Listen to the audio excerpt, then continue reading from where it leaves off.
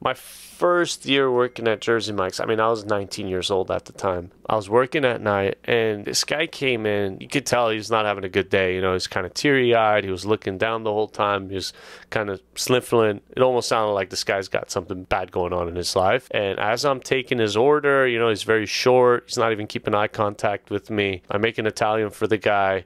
I, I, give him a cookie, just like, here you go, man, it's on me. It was a quiet night. He's like, thanks. He went, sat down, and he, like, I'm looking at him 10 minutes. He hasn't even opened his sandwich. This guy's just bawling out, crying on the table. And there's no customer in the store. And a part of me was like, man, this is really bothering me. I feel really bad for this guy and I have no idea what's going on. So I grab a broom, a dustpan, and I slowly, like, just sweep my way towards him. As soon as I get to him, like, hey, man, like, I, I definitely don't want to intrude, but is everything okay? Like, I could tell like something's not right. And the guy just let it out. He's like, a buddy of mine just died in a car crash last night. Oh damn! Uh, my, but one of my best friends, I can't believe it happened. Like I'm in shock. I just figured out like a couple hours ago.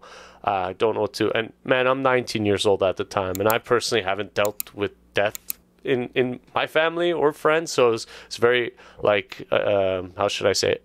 Oh, a little uncomfortable for me because yeah, I don't want to say it's a tough spot to be. In, yeah, sure. I don't want to say the wrong thing. So I just I kind of noticed that he was just being down and he's all alone. So I'm like, dude, is it okay if I sit down? And he's like, please. And you know, the only advice I gave him, like. I told him, I'm like, I've never dealt with the man. Sorry. I'm not really speaking from experience, but I think time will kind of just help it's going to be tough no matter what, but just hopefully time will kind of heal the wounds, you know. So if there's anything I can do, man, please let me know. I just want to make sure you at least kind of keep your head up, you know. And so, anyways, that happened. Um, and then a couple days later, he came back, and this time around, he was like all smiles. He was in a good mood, and I'm like, "Oh, like it's good to see you, brother. Like, what's happening?" And he's like, "I just want to let you know, man. Like, you're the only guy, other than my close friends, but you're the only guy that really went out of their way to kind of just like, you know, calm me a little bit and just soothe me a little bit. And that night that you sat down and talked to me, I want to let you know like it was it was really really big for me and I really appreciate what you did, man. So thank you. And I was in shock. I'm like, dude, like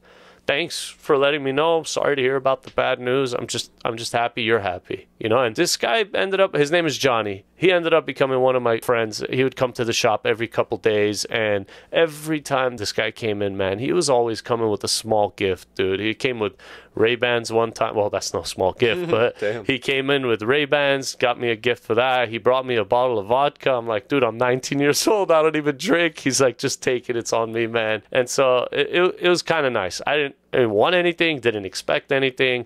Like I said, it was just kind of like my body felt like it had to go there and kind of do something about it. You know, it's kind of like Ultra Instinct. Yeah, that's that's nice of you, man. Sometimes you know it's it's weird, but like a, a stranger coming up to you and acknowledging something is so much more impactful than whether it's one of your family members or your friends, because.